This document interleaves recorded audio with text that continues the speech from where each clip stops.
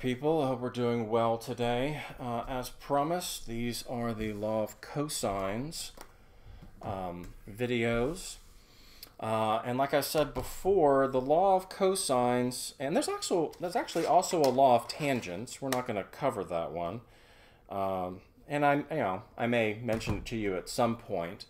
Um, but there's there's law of cotangents too. I mean, basically, any anything that helps us to relate quantities uh, within oblique triangles is kind of helpful. Okay.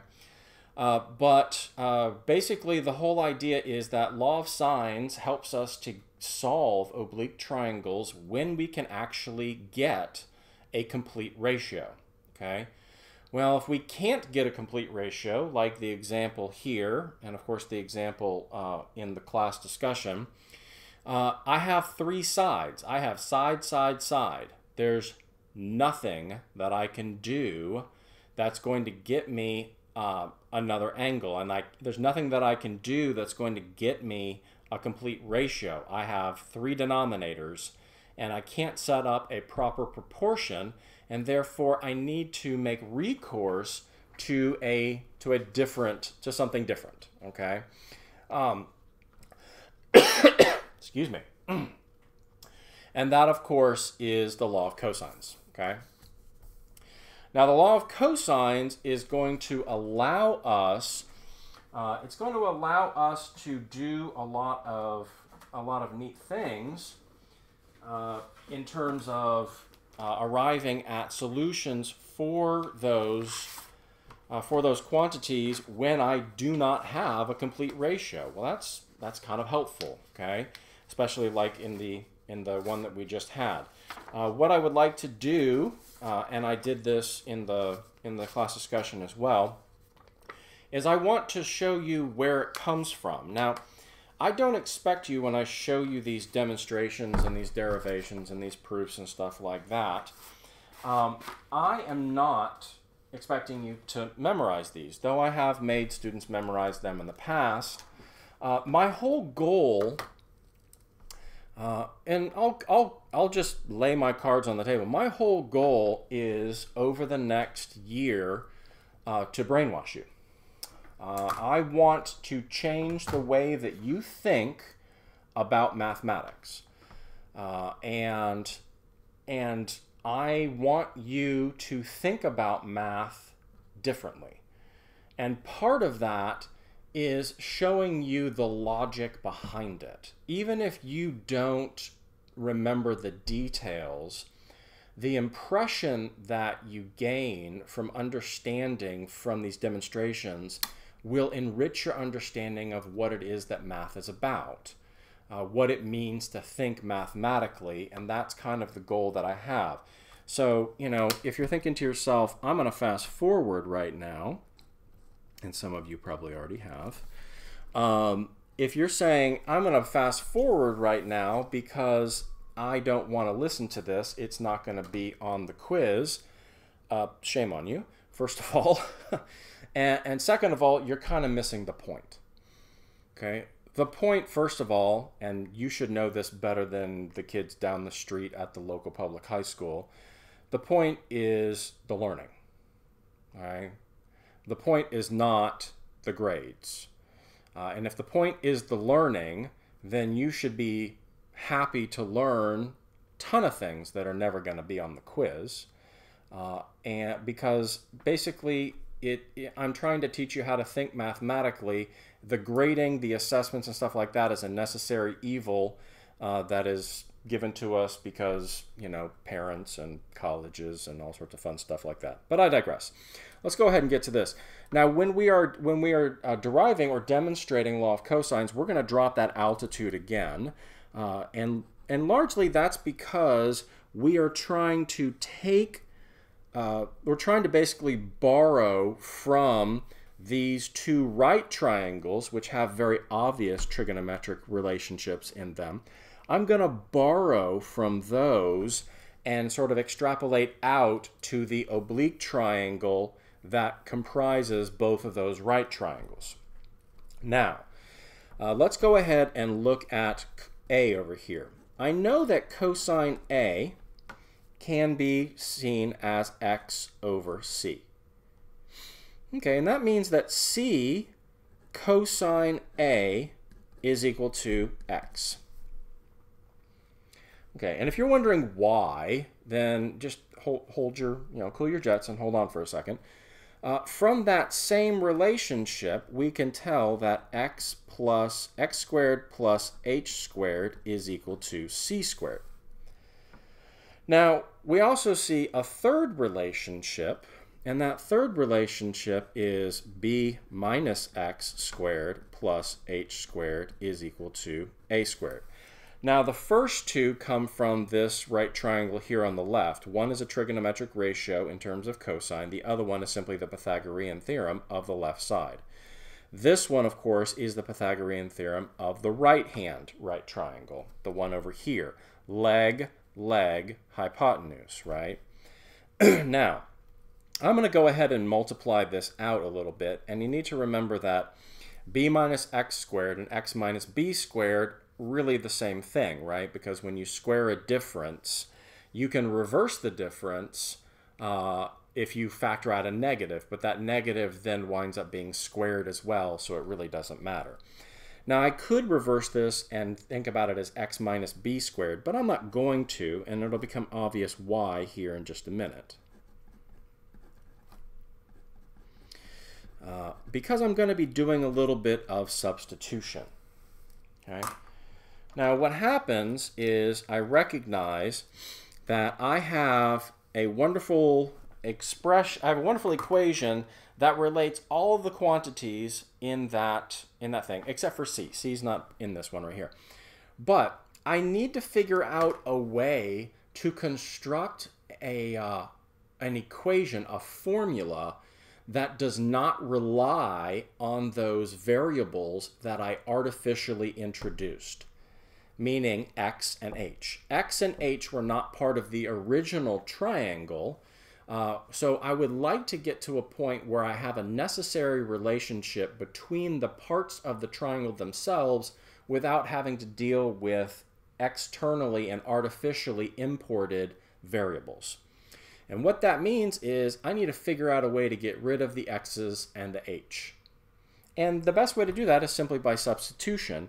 And that, of course, is why I have this c squared. c squared is equal to x squared plus h squared, so that can be substituted right in there. And this x right here, I can take this c cosine a, and I can drop it in right there.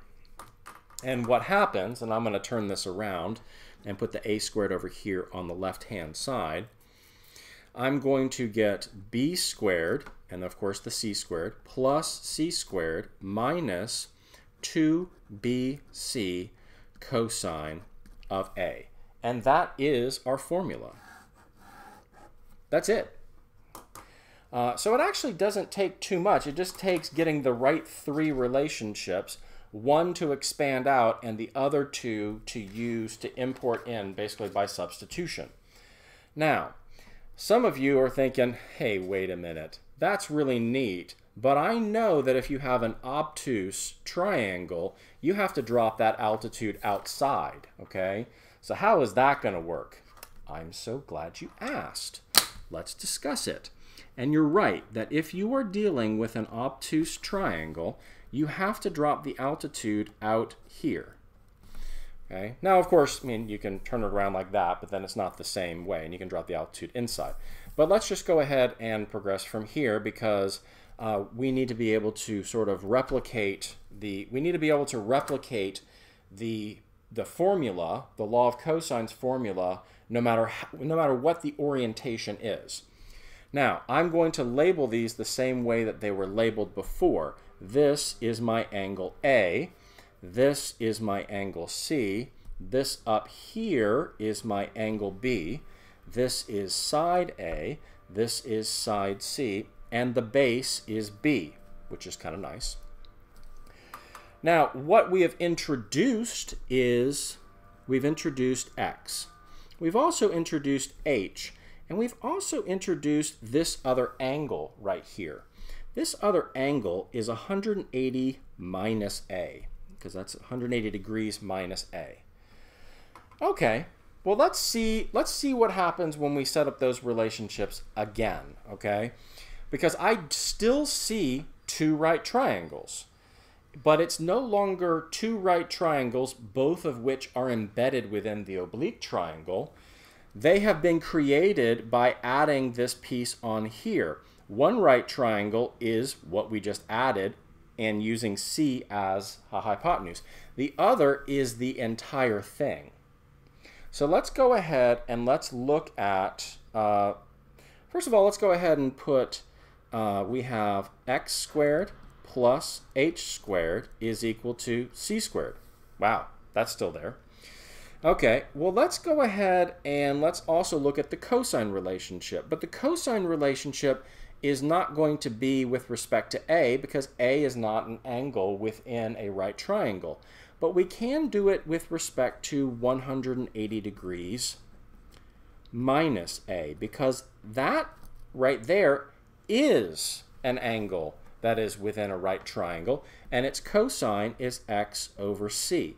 So x is equal to c times cosine of 180 minus a.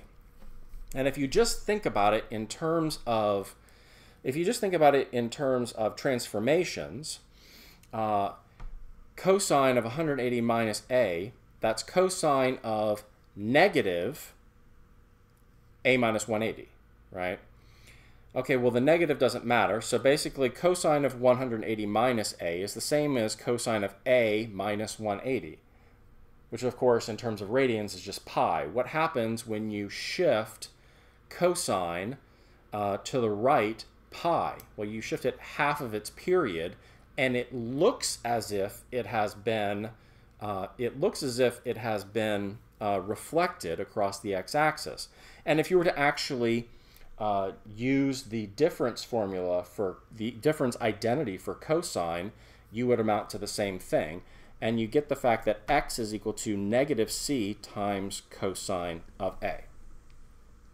Okay, Again, I'm going to be using these for substitution, and I'm going to go ahead and use Pythagorean theorem for the whole, for the big right triangle, and it's um, b plus x squared plus h squared is equal to a squared. Now, before, in the last version, this was b minus x.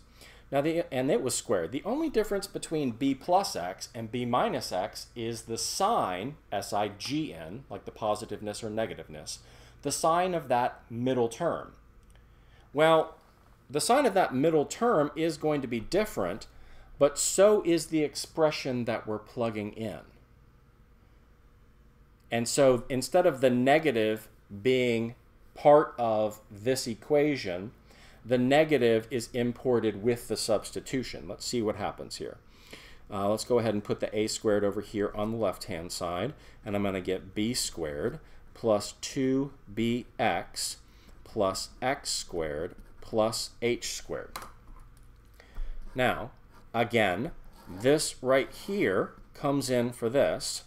This right here comes in for this x and after just a little bit of reordering, you still get b squared plus c squared minus 2bc cosine of a. And that is identical to what it was on the previous sheet, okay? And what we get is if we were to, you know, turn the turn the triangle and do the same thing with the base of A and then with the base of C, we would wind up getting all three of these. Uh, now, this is uh, what comes from Ron Larson's uh, pre-calculus textbook. I sort of just screenshot it so I could plop it in here. These are the alternative forms, and they amount to nothing more than basically taking this one and solving for cosine A, taking this one and solving for cosine B, taking this one and solving for cosine C. Well, you ought to be able to add and subtract and divide and solve for an expression or a variable that is embedded within a larger equation. That should not be difficult. What's more difficult than that is memorizing a second form of all three of these. So I would just go ahead and just concentrate on that. Now, one thing that I do want you to take notice of is that when you look at the law of cosines, it looks really, really intimidating. But when you cover it up like this, it looks like the Pythagorean theorem. Right? And indeed, you just saw the fact that when I was deriving it, I was substituting into an equation that that was basically the Pythagorean the Pythagorean theorem uh, equation expanded and then substituted in. So really, what you're doing is you're taking uh, you're taking you're basically saying, okay, it's not a right triangle, but it's you know, but it's still a triangle. So what we're going to do is we're going to, and this is sort of like just loosely what you're doing. You're kind of saying, okay, let's do the Pythagorean theorem and then adjust it. And basically your minus 2bc cosine A or your minus 2ac cosine B or your minus 2ab cosine C is basically adjusting the Pythagorean theorem to where it's to where you've basically made it true with this with this caveat for oblique triangles. Now, if that doesn't make sense to you, that always that always helped me in order to memorize it, right? It's basically like, okay, it's the, it's just a Pythagorean theorem where you're saying, okay, I'm going to treat A like it's the hypotenuse, and then we'll list it out, and then the B and the C both wind up there, and then it's cosine A. And that was that was how I always thought of it. But if that doesn't work for you, then don't don't listen to me, okay? Alrighty, let's go ahead and let's work on some of these. Now notice the great thing about the law of cosines, there's, there's a bad thing and a good thing. The bad thing, we've already seen it, it's a more complicated formula, but you should be able to memorize it without much problem. That's the bad part. The good part, no ambiguities. No ambiguity. Now there are times when there are where there is no solution, but uh, there is not there's never a time when you're given information and you will use the law of cosines and there will be two possible answers. That's just not going to happen. So let's go ahead and take a look at this one. This one is side side side. And uh, so you know this is a this is b and this is c. And so a is 27 B is 19 and C is 24, well, it doesn't doesn't really matter to me which one we go for. A comes first in the alphabet, so let's do that, okay? And so we get a squared is equal to b squared plus c squared minus 2bc cosine a, which in this case works out to uh, 27 squared is equal to 19 squared plus 24 squared minus 2 times 19 times 24 times cosine of A. And this is going to be one of those times when you need to solve for cosine A. But all you have, I mean, and the thing is that you ought to be able to do this in your head. You know that you know that the 19 squared is coming over, you know that the 24 squared is coming over, and then you know that after you do that, what's left is this as a coefficient sitting in front of cosine A. and so instead of instead of memorizing that alternative form, just do the just do the simple solving for the trigonometric expression. Now, if you want to, you can go ahead and multiply by a negative over a negative because that's going to wind up, you know, being a little bit easier and leaving. I was always the guy who made my careless errors uh, with uh, with negatives. I would either lose the negative or you know you know whatever. But basically, that was where I always got uh, my points taken off. So I have over the years basically created uh, little tricks to where I don't wind up uh, little tricks so that I don't have to I don't have to remember the negatives. It just sort of takes care of itself, right?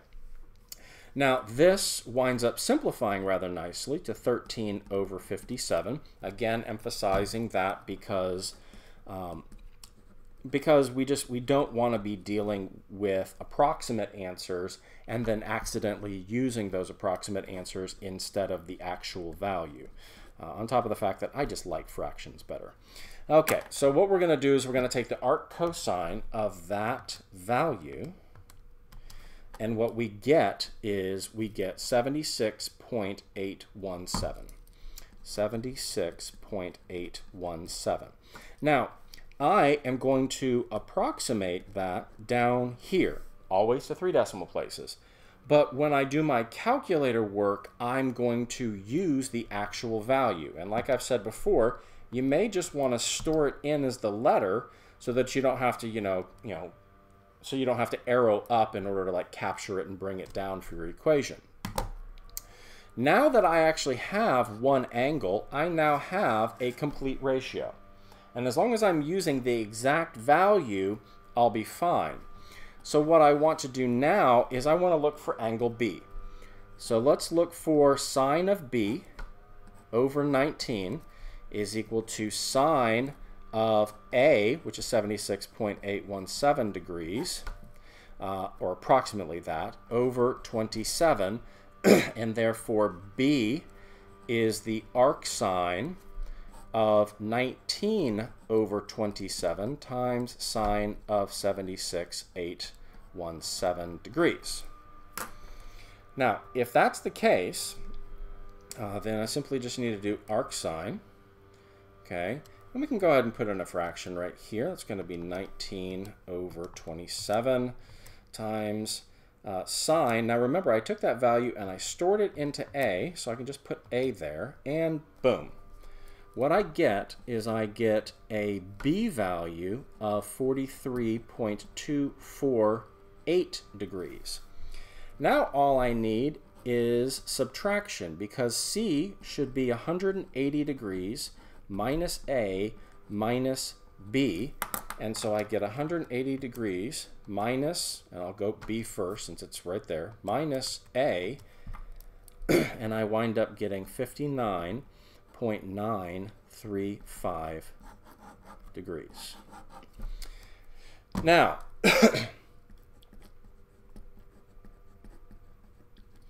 let's go ahead and see whether that actually makes sense. I notice that my longest side is opposite my largest angle. My shortest side is opposite my smallest angle. Uh, there actually is a formula that you can plug in uh, that has actually all six pieces of the, uh, of the triangle. And I'll, I'll show that to you a little bit later. Um, and basically, if you want to memorize it, that would be a great way to deter that to sort of check your answer after you're done. Uh, but we'll we'll get to that here in just in just a little while.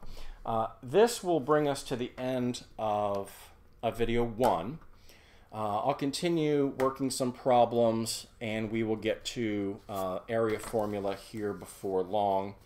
Uh, I then will, at the end of the last video, before we get to the proof of Heron's area formula, uh, I'll deal with uh, the problem from yesterday that I stumbled over. Man, it was a stupid arithmetic mistake. Uh, but when you're, you know, I don't want to sit there for five minutes trying to find it, so I kind of threw it aside and moved on. Uh, and then the problem today where I kind of misunderstood, the, or I, I was questioning the context. Uh, that's actually kind of neat because I wanted, there are two different ways to do that problem, and I'll tack those two questions uh, on to the end before we move on to Heron's uh, to the proof of Heron's area for area formula. So, uh, as always, if you have any questions, please do uh, shoot me a message on Teams, and I will try to get back to you. Bye.